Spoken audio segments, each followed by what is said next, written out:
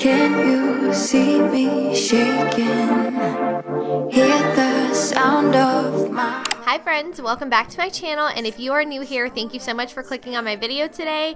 I am so excited to share with you guys my guest room makeover. This is a long time coming. I have been working on this for a while and I don't know as if I've ever showed this room in a video before, so I cannot wait to show you what I've done with the space.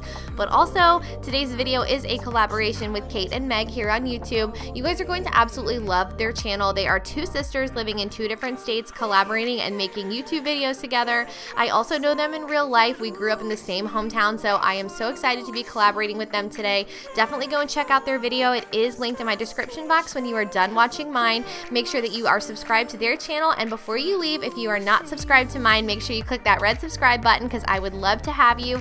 let's go ahead and jump right into today's makeover. So I did leave out some footage of getting a few of the furniture pieces in here. A few weeks ago, my parents brought down this bed from their house and a couple other pieces of furniture for another room that I will be sharing with you very soon. But we didn't have a bed frame for this bed down here and I decided that I wanted to move my headboard and bench that was at the end of my bed in my room down here because this is an adjustable headboard. It works for a full bed or a queen bed and I just thought that it would look so nice with this room and I think that it fit really perfectly. So we had to bring that down and hook it up to the bed. It was super easy to attach to the back of the bed frame. And then we're going to bring down the bench and just kind of see how that all fits in the room and I was really pleased with how it turned out.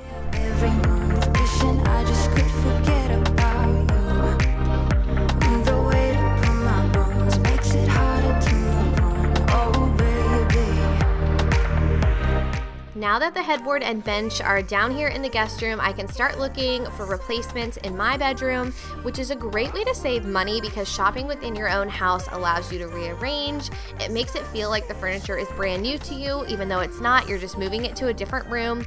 So that is a great way to save money if you want to get just a few new items in your house. Speaking of saving money, I also already had this curtain rod and these curtain panels here. They were in my old apartment and most of my windows in my old apartment, there was only one window per room and this is the only room in my house that has one window. The rest of them have two windows, so I was only able to reuse one set of my panels from my apartment and these are the ones that I chose for this room. I just think that the white looks really nice and clean.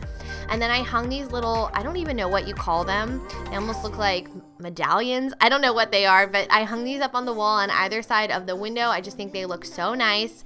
And then Jack and I took a trip to Bed Bath & Beyond. I had had my eye on this bedside table for a while and I saw that it was 15% off and I had a 20% off coupon as well. So I got 35% off this bedside table. He had to get it out of the box for me because it was so heavy but I absolutely love the way that this looks and you will see in just a second when I unwrap it that it matches those two things that I put up on the wall perfectly. Like I could not have planned it better if I tried.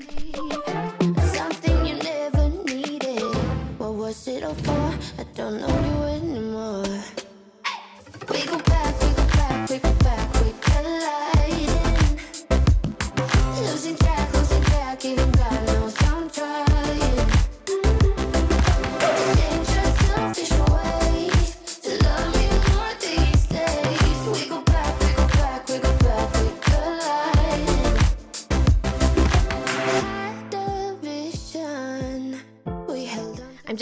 Some of the residue off of the outside of it from when it was put in the box. And I don't know if you guys can see on the back that this is one of those bedside tables that has a little like power strip built into the back. So I think there's like two plugs and like a USB thing back there. So you actually plug the bedside table into the outlet and then you can plug all of your things into the back of it which is perfect because behind the bed is the outlet for this wall and it is so far behind the bed it would be almost impossible to get to.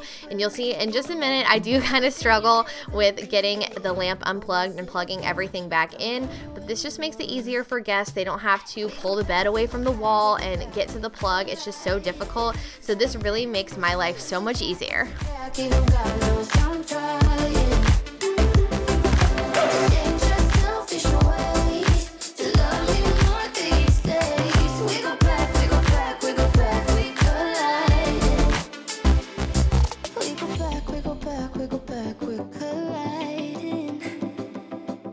guys have seen some of my other renovation videos, then you may have seen the video where we did a ton of the doors in the house because they were pretty dingy and gross.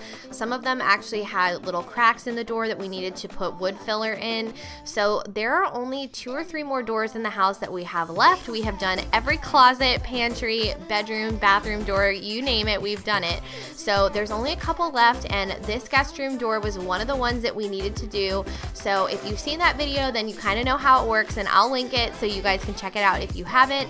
But we're just gonna give the door a light sand down, wipe all the dust off, and then we're gonna give it some coats of paint. And I will have the paint that I use linked in the description box as well. If you guys love really bright white paint, this is the Behr Ultra White paint and it is so shiny and of course in the semi-gloss finish. We used to be the team people talk about what a chemistry. I can see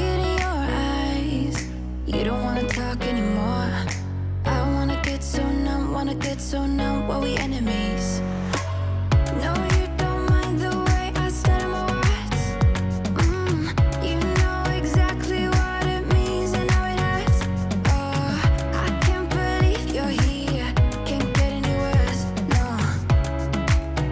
I also should mention that we don't normally paint like this in the kitchen, but if you guys live on the East Coast or you live in the South, somewhere where it is very hot, then you know that the temperatures lately have been insane.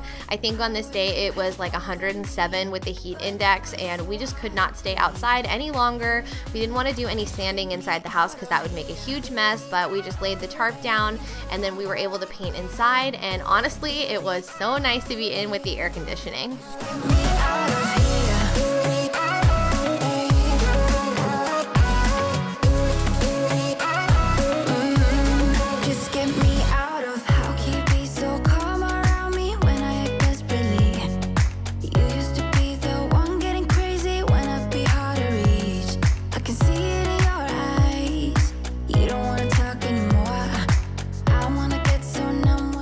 did take about two days to do the door because we did have to flip it over and let it dry and everything before we could do the other side. But once we were finished, it was time to hang it back up. And if you guys saw in the other renovation videos, we replaced all the hardware and all the knobs on all the doors. But this one actually didn't need to be replaced. It had the correct hardware on it that I already wanted. I did clean it up a little bit. It was a little grimy and oily, so I did take a toothbrush to it and just scrub it a little bit. But we were able to save some money by repurposing repurposing the hinges and the doorknob that were already here. So I'm holding the door and Jack is going ahead and screwing it in.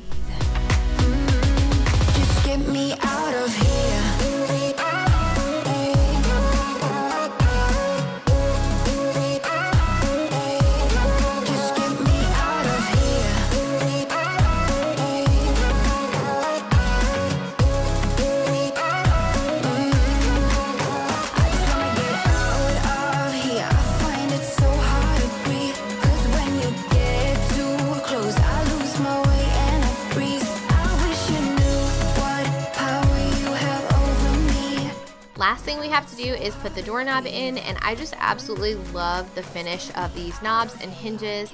I am a big fan of the oil rubbed bronze look. If you guys have seen some of my other videos then you have probably seen that I have it all over my house. My kitchen faucet, a lot of my light fixtures have this same finish. I really wanted to go with consistency throughout. Cause if you're not home, I wonder where you slept last night. Are you seeing someone new behind my back? Kiss another dude's for a little romance. Pick up the phone, I really need to understand. All right, so now we are moving on to my favorite part, which is decorating. And like I said earlier, I am a really big fan of shopping within my own house. So most of these items are pretty old or I bought within the last six months or so. Like these bookends, I got these at Hobby Lobby within the last couple of months, but everything else I've had for quite a while. And you'll notice that I use this empty Ikea pot, but don't worry, I do have plans to put a plant in here. I'm actually currently propagating one of my pothos plants, so I will be replanting that here very soon. And this bookshelf is a perfect place to do some decorating because there's not a lot of surfaces in here. The bedside table is pretty small and at some point I'd love to get a dresser in this room as well, but for now this is my main space for decorating. And if you guys don't know, I am an elementary school teacher, so I have tons of books. Not only do I have books that I like to read, but sometimes I have books that I use in my classroom, in my house. So I definitely need space to put books in a actual bookshelf. So I'm using these bookends just to hold up some of my books.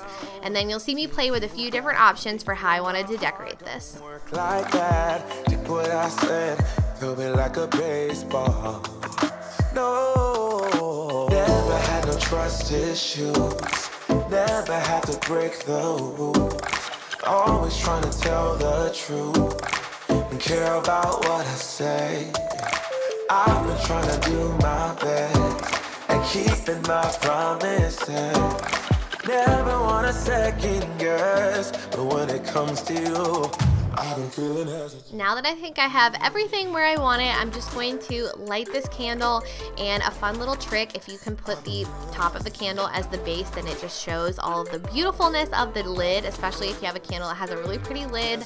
But this is the final look and I'm not 100% sure that it's going to stay that way. If you guys know me, I like to rearrange all the time, especially because a lot of my decor is very similar in other rooms of my house, so it makes it super fun to switch things out. But this is what I'm going for for right now. It is simple, clean, and honestly, after I finished this, I was like, wow, I would love to be a guest in my own house. I might actually sleep in this bed but it just looks so nice and clean. I think that anyone who comes over is going to feel really welcomed. And I've actually already had some friends stay one time, but the room wasn't fully decorated. So I'm very excited to have some more people come over now.